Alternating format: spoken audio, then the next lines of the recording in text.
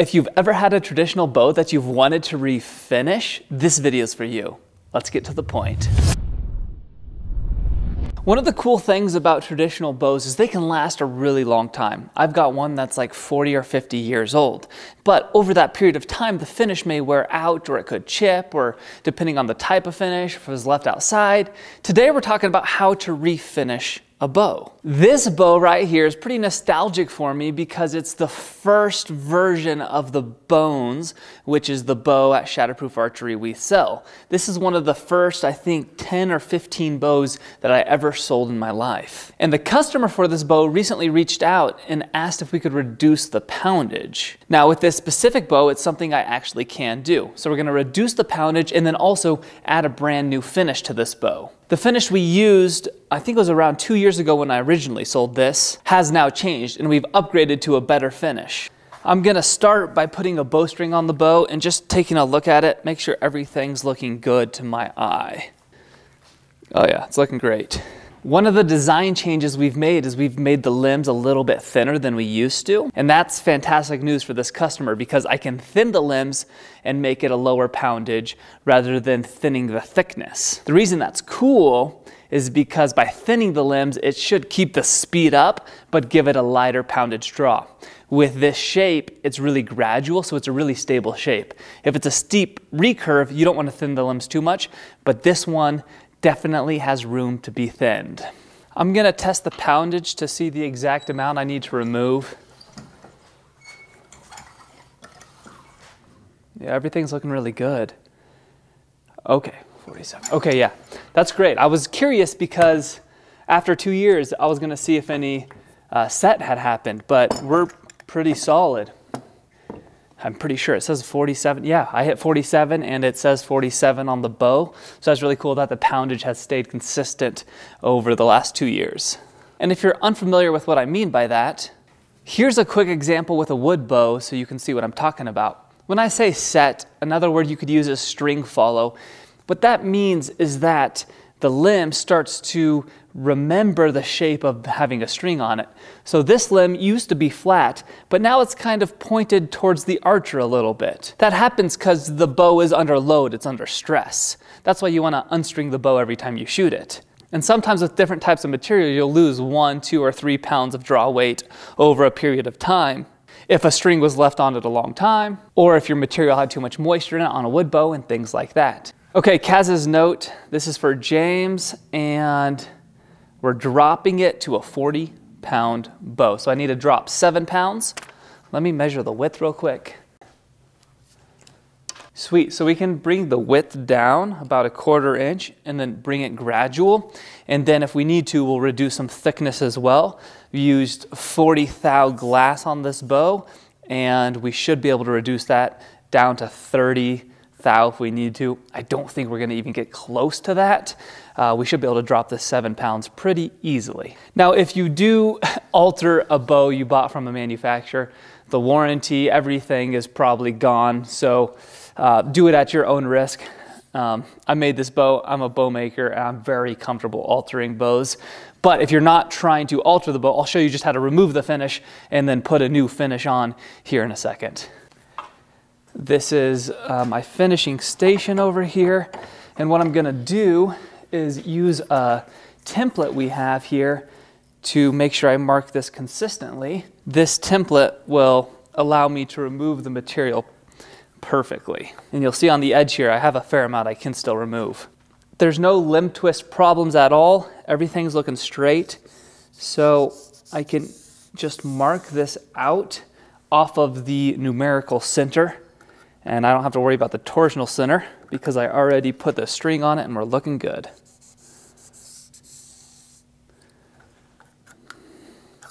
Now by reducing the width, I might have to rework uh, the tip overlay slightly.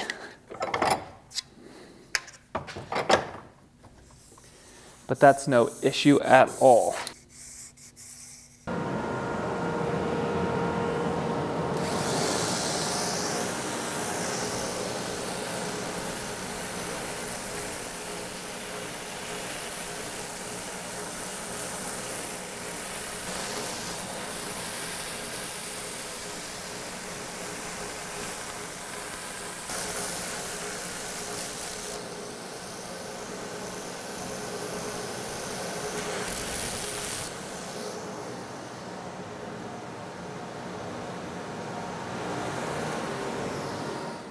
Okay, next I'm going to use a orbital sander and clean up these edges real good. And then you do want to round the fiberglass slightly if you ever do this.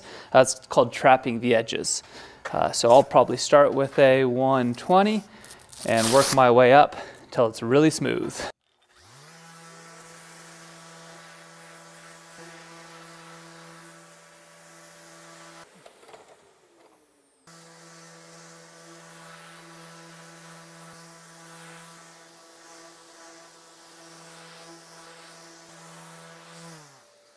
With the width reduced.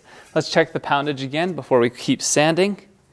And hopefully here, we have dropped a few pounds. I will exercise it a little bit first.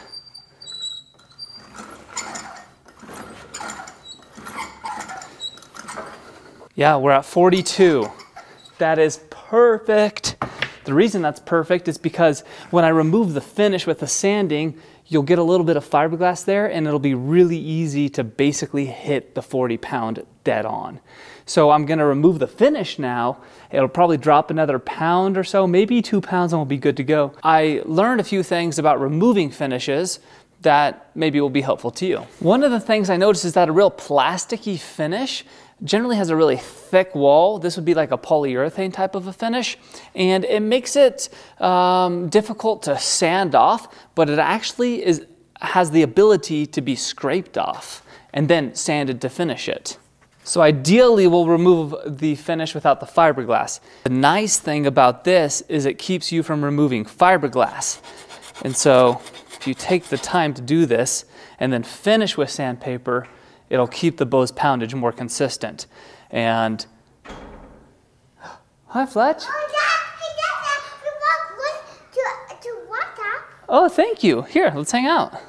But each finish can be a little bit different. So you'll see there's a couple scratches there from the scraper and I'll have to sand that down. Um, you can also just sand from the start. You just might go through more sandpaper.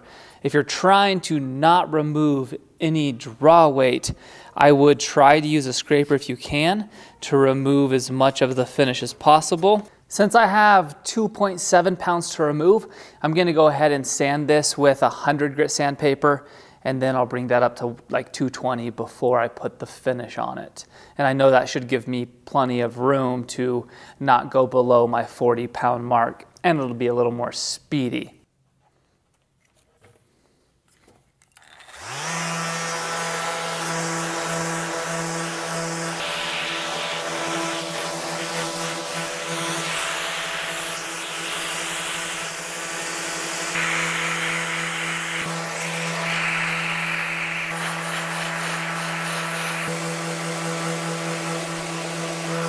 No matter how good your dust collection is, it's gonna leave some fiberglass behind. My favorite cleanup method is to use some acetone. I do this between the different grits of sandpaper and it helps for a better finish. Um, you can see all that gunk coming off because what you'll end up doing is just sanding the fiberglass dust that's on top of the fiberglass instead of the actual fiberglass itself. The other major thing you need to pay attention to is to not press hard with the sander. You want to let the sander do the work and that'll keep it from getting uh, deep scratches in the fiberglass. If you needed to drop your bow's poundage and you know for a fact you have extra fiberglass, then you can look to remove material evenly in order to reduce the poundage. In this case, our final sanding will reduce it that last two pounds. So we're trying not to remove material. We're trying to leave it as much material on it as we can. You can always take off more material.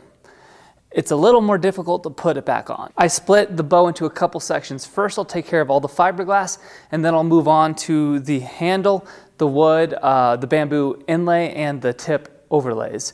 I'll do that next, but this allows me to know that the fiberglass is ready for the finish, and then I'll move on to the next sections of the bow. So let's do that now.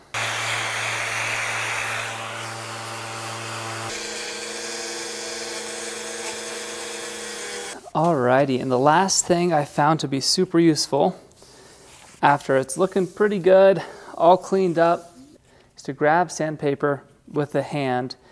And depending on the fiberglass, sometimes the scratches are harder to get out. And if you sand with the grain of the fiberglass, so along the limb, uh, it'll hide the scratches better and or help them get out more. And so there's one tiny spot right here and I will just only sand in this direction. Everyone has their own opinions when it comes to finishes, at least people who have practiced and done a bunch of different things. I noticed that fiberglass does better with a higher grit and you don't have to go as high on the wood. So what I'm hand sanding with here is 320 and I find that I get a really, really good finish on fiberglass if I go up to higher grits. The, the counter argument is that your finish isn't gonna stick as well to your material because you're basically burnishing instead of sanding. On the flip side of that, I've done test. Here's one of the limbs I did test on and you can see the spots where I had tape. And so I sanded it to 180, 220, and 320, and then finished out all the areas. And when you look up close, you can see the scratch marks on everything but the 320. And I've never had finish adhere adhesion problems on fiberglass when you go to 320. So what I'm saying is you go to 320 potentially on the fiberglass for best results, but on the wood stop at 180 or 220 and that'll finish better on wood. I did that exact same test here on the wood. You can see the different layers and no difference visually from the 320 all the way down to the 180. It is now time to test the poundage again.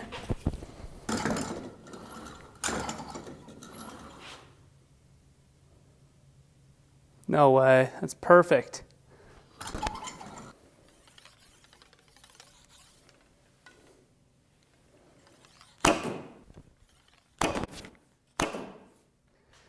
We're good to go. One final inspection of the full bow and uh, just hand sanding anything that looks like I want it to uh, maybe get a scratch out, want it to look better. And also cleaning it as you go and getting different lighting or if you bump it like that it could scratch it. So you want to uh, go over it one more time but getting different angles with the lighting will allow you to see things that you may not be able to see from a different angle. Now that the bow is sanded, ready for a finish, let's talk about what to use. If you don't have a spray gun, you can totally get a can like this, $10, polyurethane, and use it to finish the bow and get a great finish that'll last three to five years. Pretty stinking good. The part that'll wear out is gonna be right around the handle. That's where it'll start to gum up because of all the sweat and hand oils on the finish over a long period of time. You can also think of high impact finishes as doing really well. So cabinet finishes, hardwood floor finishes, those sort of finishes do well. A common misconception, at least in my opinion misconception, is that the finish will crack with the bow bending.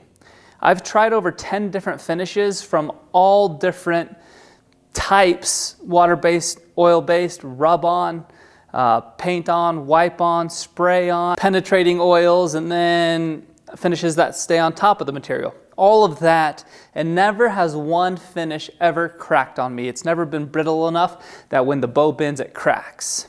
So my first recommendation is if you're familiar with a finish, use the one you're familiar with because you'll get better results with a finish that you're good at using than you will with a finish that maybe is brand new to you or a different, uh, maybe, not a finish that's brand new, but if you're do, gonna do a new technique, you might need a little practice to get a great result. If you have a nice spray gun that sprays clear coat finishes on, we have started using the Krystal products by Campbell. And what we use is something very similar to a cabinet finish. And this type of finish, you use a finish and a hardener.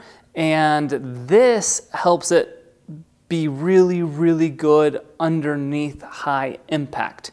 A lot of wear and tear. And this is specifically used on a lot of cabinets, right near, you know, the door handles or, or the knobs on a cabinet will often the finish right underneath that will wear out a lot of different finishes will protect the material plenty, plenty good. It's just gonna be a matter of how you like it to look. Follow general finishing principles. The main ones are cleaning your material extremely good, and then whatever finish you're doing, it actually makes a big difference to follow the manufacturer's recommendation. So if they say sand between coats, sand between coats. I know that's simple, but I like to finish a bow really quickly, and I've cut corners in the past on my personal bows. It's not worth it. I'm not gonna film inside the spray booth because I don't wanna get finish on the camera, but here the bow is right now. And uh, the only other thing I need to do here is write the poundage here, and I'm gonna put our uh, coin in right here. And this bow is definitely getting an upgrade today. It's gonna be pretty sweet. I see another scratch to stand out. It's the following day now and the bow is now finished.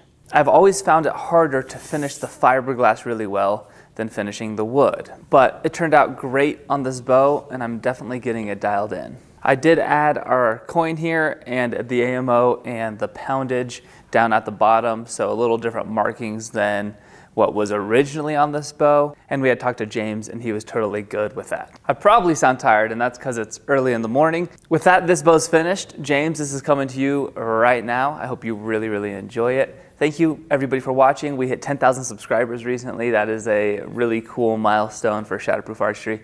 It is an honor to be able to make these videos and make these products. If you have any questions, feel free to reach out to our shop and we'd love to help you with any of your archery needs because our goal is to help more people enjoy more archery. And with that, stay shatterproof and I'll see you on the next video.